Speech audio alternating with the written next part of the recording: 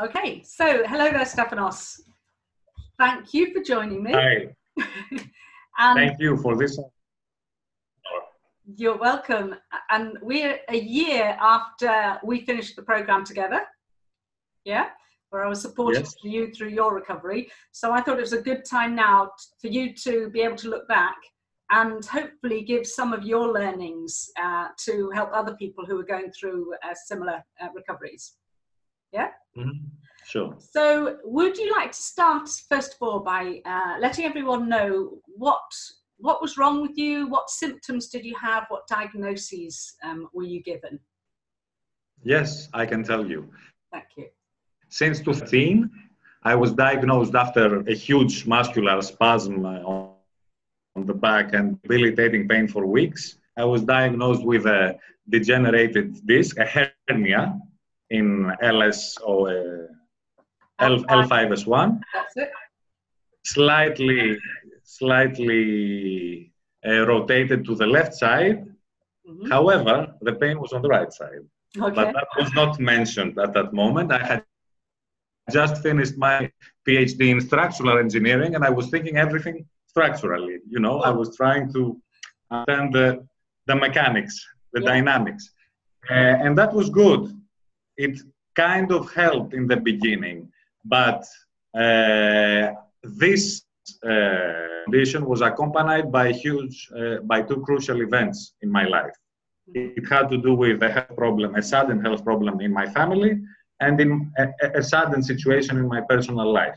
So, uh, after some occurrences of pain, debility pain, after uh, exaggerating emotional uh, expressions like hysteric events, Right. if I can uh, use this term, without any actual uh, motion or uh, lo- overloading my body and just bringing out a huge spasm that would put me to the floor weeks. I So started were- realizing that something was going on. Okay. So what you're saying there is, um, rather than having a physical injury, some you had a recurrence where it was more. You recognised it to be a real emotional trigger. Yes, Yeah. definitely, definitely. And my initial uh, phenomenal injury was accompanied by a really two really two uh, situations in my life. Yes. Okay. So, but looking back, you recognise that, but Mhm. at the time, you weren't aware that that was the cause or triggering the pain. Yes, So, did you when the at, back at that time I was thinking how okay, and when Uh, when the back pain came on, um, did you have um, a physical incident at that time as well, or not? I did have a physical incident, but it was not something like uh, an extreme injury. I just uh, bent my back hmm for large period of, periods of time and due to to do my work in the field Yes. actually and at the at the moment it just you know caused this lumbago i don't know if the term is correct but this lumbago would come and go for a couple of months Okay. a couple of days after this pain this slight spasm hmm it, it would decrease but a couple of days after that it would pop up so Right.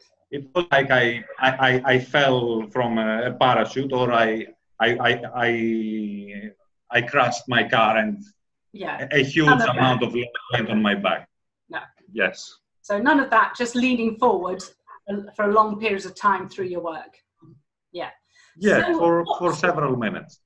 Okay. So what um, sort of treatment did you try first of all, and how long did this go on for before you began to make the connection with emotions? Uh, I, I, I, I tried physical therapy with uh, special exercises, Mhm. plus some medication uh, in terms of paracetamol, of painkillers. I didn't actually move into inflammatory drugs because um, I had some understanding from uh, people around that they might help in the beginning, but it's not the solution. That was uh, kind of, uh, you know. Uh, for other cases. I, I, had already information. I tried physical therapy, heating pads, uh, some chiropractic uh, treatments.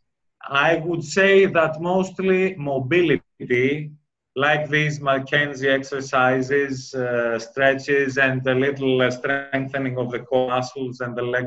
This would be much more helpful than the drugs. Right. Or laying in bed, because for a large period of time I had to lay several hours in bed. Right. So how was that affecting your daily life? Uh, my activities had decreased to 80% for at least nine months. Right. Okay. At about a year, I gain, I regained an 80% of previous activities. Good, good. And was it affecting your work? but well? then come and go. Uh, yes. Okay. Yes. So it was still coming and going. So you then developed knee pain, didn't you? I developed the knee pain mm-hmm. exactly a year ago when we started talking. I had some when we started uh, treating your through your program. Uh, I had uh, some slight incidents in the previous years. Uh-huh. For a couple of days, I would have some pain uh, around the tendons of the patella, of uh, yes, mm-hmm. Uh, after squats. Right. Okay. but this would come and go easily um, say for I, it occurred only a couple of times for two or three days okay. without any treatment. But you had but a, persistent pain.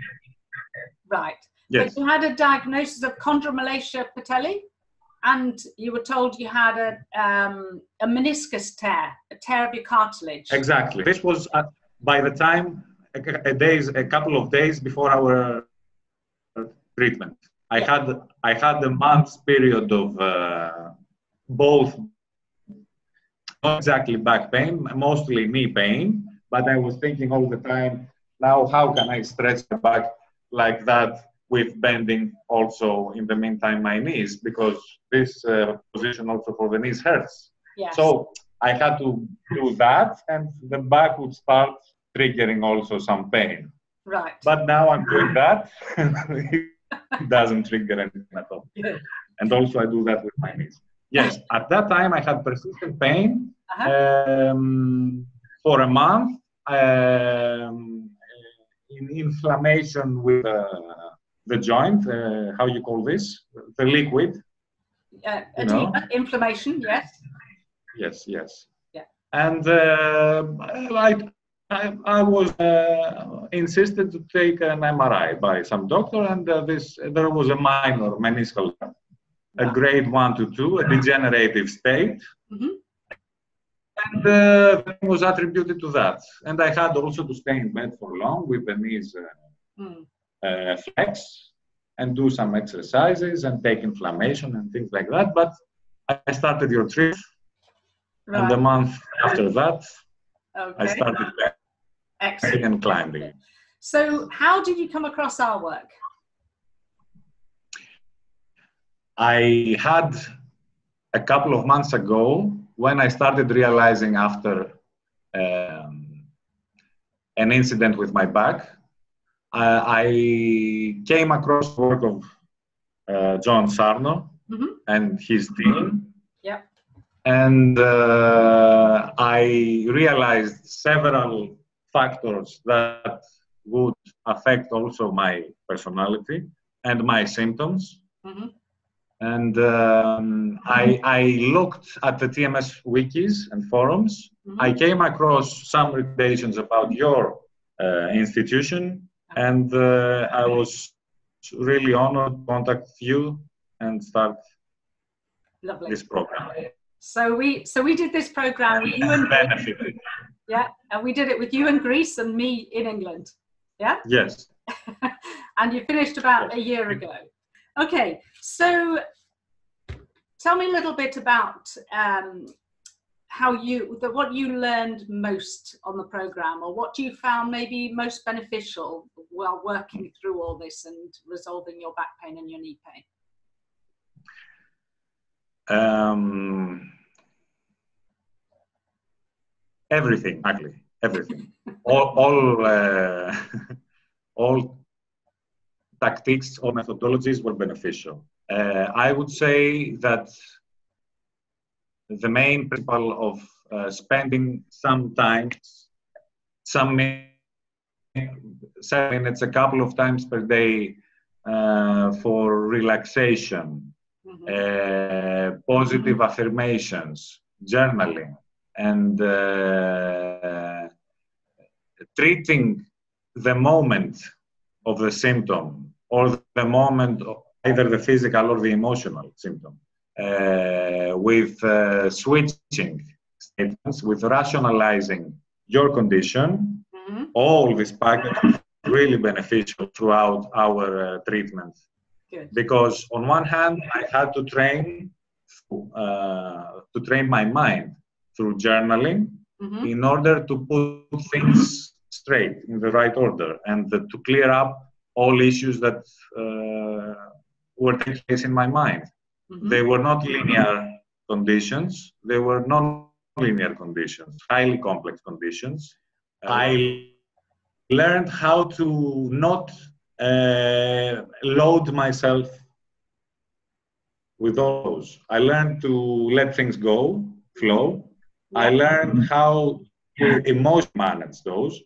I became a little more um, stiff emotionally, some way but also at times that I could uh, be become very sad about situation, I would try to rationalize that in, o- in order not to overburden myself. Um, okay, so you mentioned when you mentioned when uh, you filled in your forms that you became a workaholic when you were 23.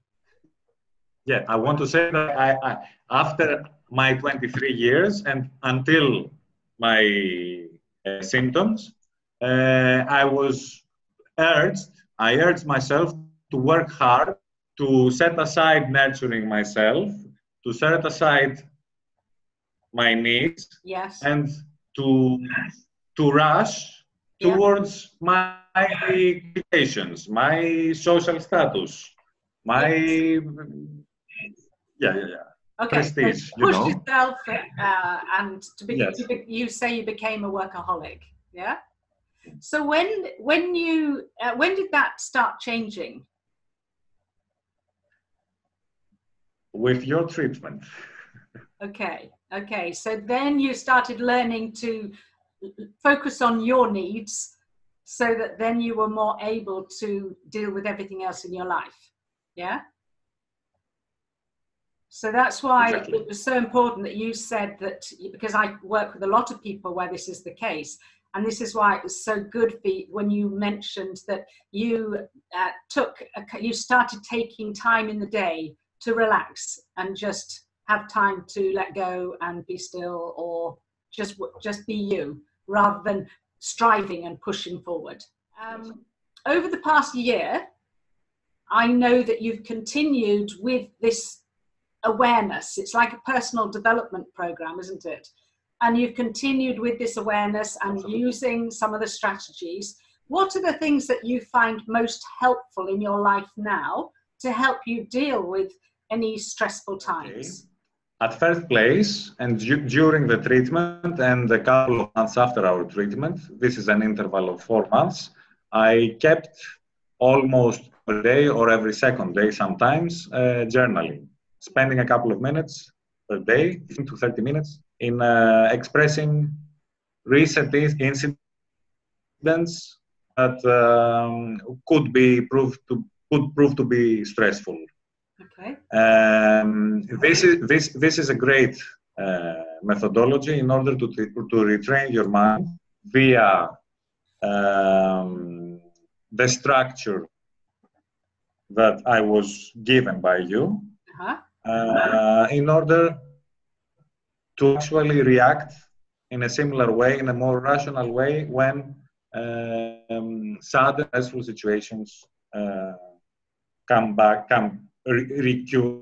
Uh, So um, okay. th- this was uh, an important part to spend. Of course, after that, I didn't uh, spend a lot of time uh, practicing journaling. I moved to a more um, rapid level of facing daily problems. I kind of this is uh, the outcome of the overall uh, uh, of the overall teachings of you and uh, Sarno.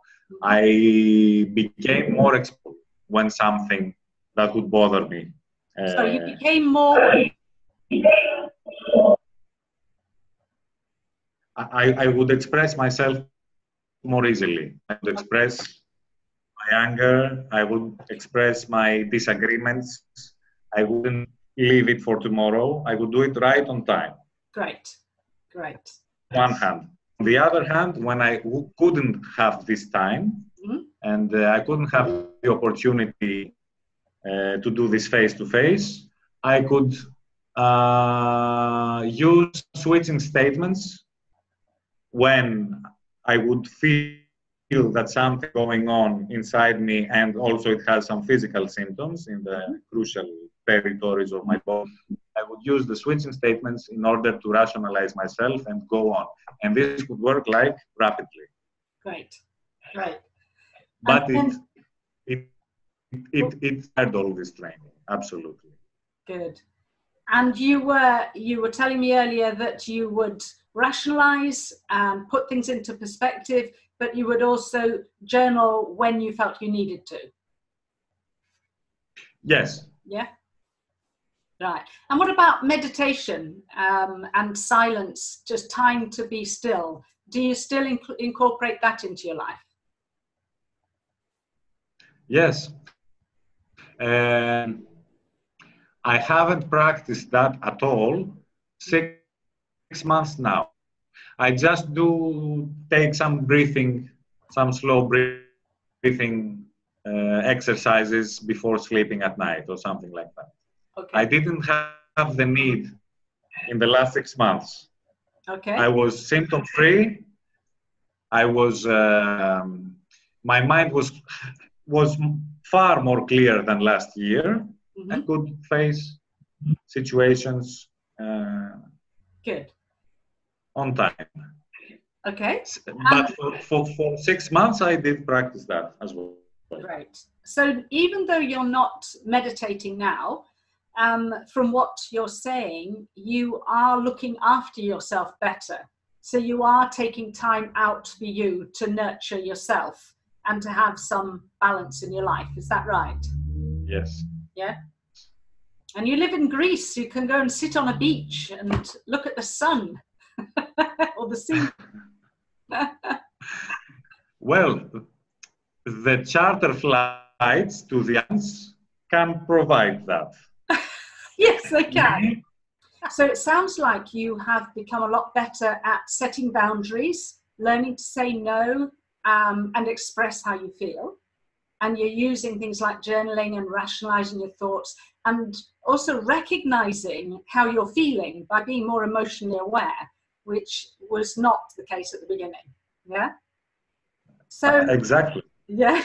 So as well as that, from the sounds of it, although you're not regularly meditating, you're finding time to have some quiet times in your life. Is that right? Yes, daily, daily. Daily. even even moving in the traffic, sometimes either I get and become relieved. And after that, I start rationalizing, and it's it's a it's a it's a it's a part of meditation. It's not like the meditation uh, when uh, taking a comfortable position and breathing, but mm-hmm. it's a sort of meditation. Uh, this is also an actual meditation. Yeah. Changing scenery uh, yeah. from uh, one institution to another for my business.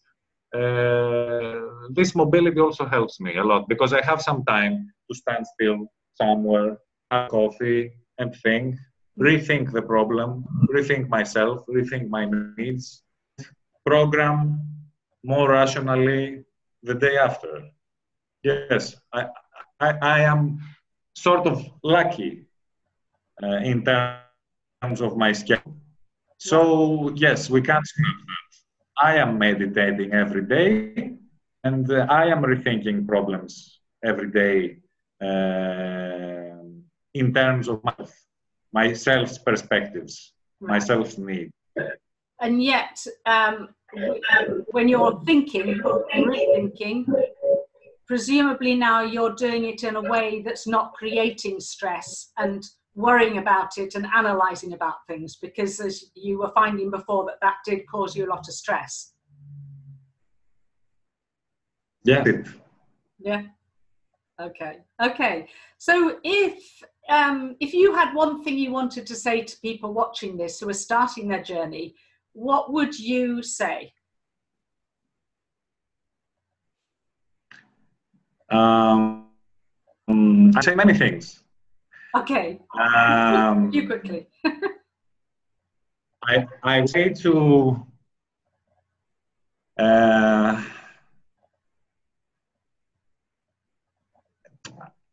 to understand to understand the message, the main message. Yeah. And to be patient in the beginning in order to realize it, because when you are um, uh, your functionality is far different, is far more influenced by stressful daily events.